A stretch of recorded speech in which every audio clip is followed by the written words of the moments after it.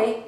Quem não usa tomara que caia ou decote porque acha que o colo tá muito enrugado ou não usa blusinhas sem manga porque acha que aparece essa gordurinha pré-axilar. Muitas pessoas cuidam do rosto, têm uma pele maravilhosa, mas se esquecem de cuidar do colo e do pescoço. E por falar em pescoço, é verdade que fazer massagem no pescoço de baixo para cima dá papada? E fazer de cima para baixo derruba o pescoço? Então como é que faz? Eu sou Luana Coelho e nesse vídeo eu vou demonstrar uma automassagem bem rapidinha, bem fácil, que vai deixar o seu colo liso, o seu pescoço mais jovem e ainda vai combater aquela gordurinha que junta entre o seio e a axila.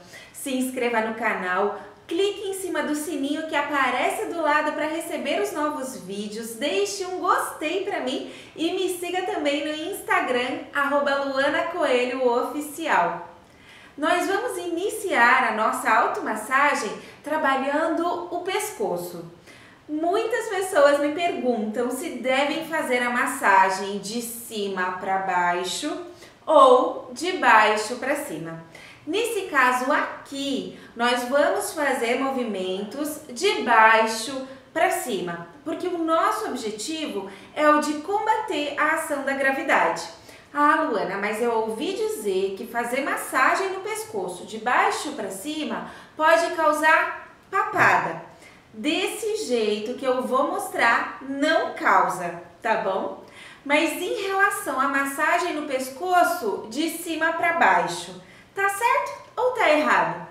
Também está correto. Se o seu objetivo for o de drenagem linfática, as manobras na região do pescoço deverão ser realizadas com movimentos bem leves e no sentido de cima para baixo.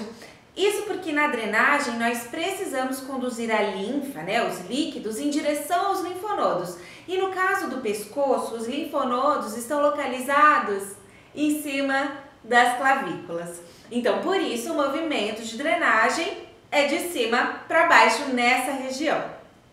Espalhe uma gotinha de óleo em toda a região a ser tratada, mas não aplique muito para que as mãos não deslizem demais. Nós vamos começar pela região do pescoço. A primeira manobra deve ser realizada com as pontas dos dedos, com movimentos de baixo para cima.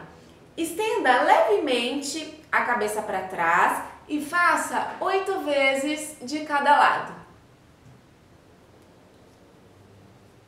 Não é para apertar e nem para fazer em cima desse caminho aqui, ó, onde se encontram estruturas como a tireoide, por exemplo.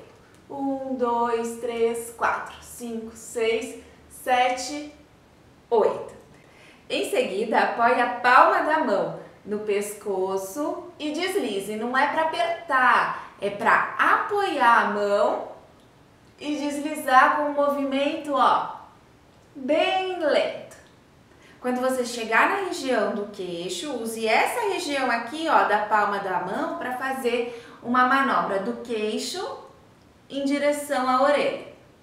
Para fazer essa manobra, você pode apoiar o cotovelo sobre a mesa e soltar o peso da cabeça. Faça três vezes de cada lado. Apoie a mão sobre o pescoço e desliza de baixo para cima. E quando chegar no queixo, do queixo em direção à orelha. Três vezes de cada lado. Movimento bem lento. Apoie o cotovelo sobre a mesa e solta o peso da cabeça. Depois, nós vamos trabalhar o colo. Apoie uma mão sobre a outra e realize movimentos de um lado para o outro. Faça 20 vezes, aplicando uma pressão moderada.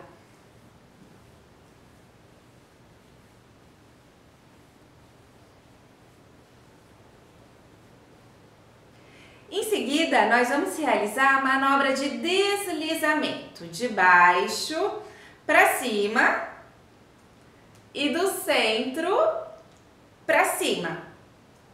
Com a mão direita, você pode realizar do lado esquerdo e com a mão esquerda você faz do lado direito. Repita quatro vezes, de baixo para cima e do centro para cima, quatro vezes de cada lado.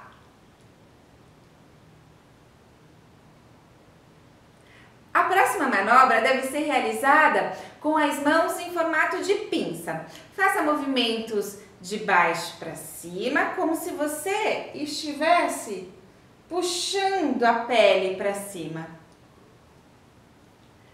Nesse momento, você também já pode trabalhar a gordurinha que junta entre o seio e a axila. Trabalhe por 30 segundos o colo e por mais 30 segundos cada gordurinha. Lembrando que eu estou me referindo à gordurinha localizada e não às mamas acessórias. Se esse for o seu caso, você deve procurar um médico ginecologista para te orientar. E finalmente, nós vamos trabalhar a gordura que junta entre o seio e a axila. São duas manobras. A primeira é a de deslizamento de baixo para cima. Com a palma da mão direita, trabalhe a gordurinha esquerda. E com a mão esquerda, trabalhe a gordurinha do lado direito. Faça oito vezes de cada lado.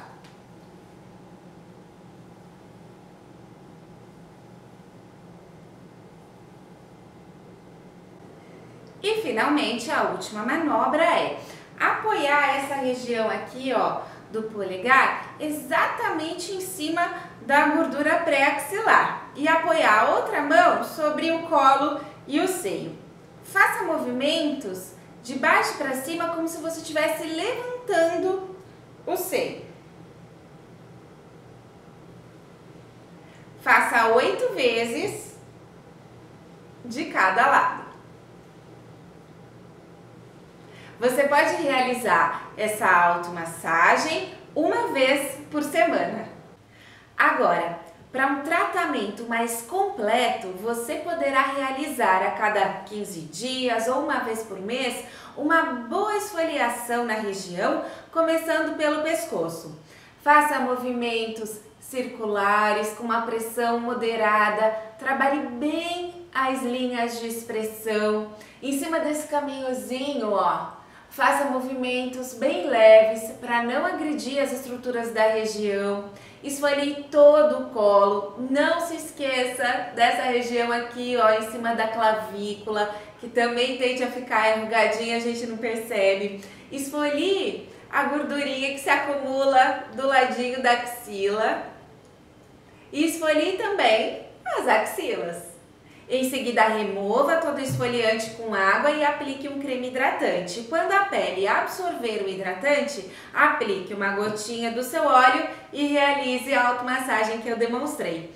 Além da automassagem com todos os seus benefícios, para ajudar a combater o envelhecimento de toda essa faixa que vai dos seios até o pescoço, também é importante ter alguns cuidados, como evitar dormir de lado espremendo o colo, porque isso favorece o surgimento de rugas na região. Evitar passar muito tempo de cabeça baixa para não provocar a formação de linhas no pescoço. Utilizar bons cremes para hidratar e estimular a firmeza da pele. Aplicar protetor solar de acordo com a necessidade, com o tempo de exposição ao sol ingerir muita água, porque a hidratação da pele acontece principalmente de dentro para fora.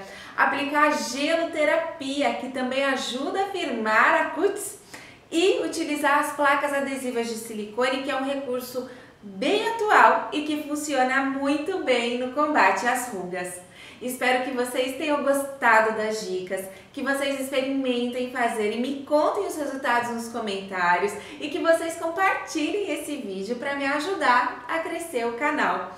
Muito obrigada, um super beijo e até o próximo vídeo!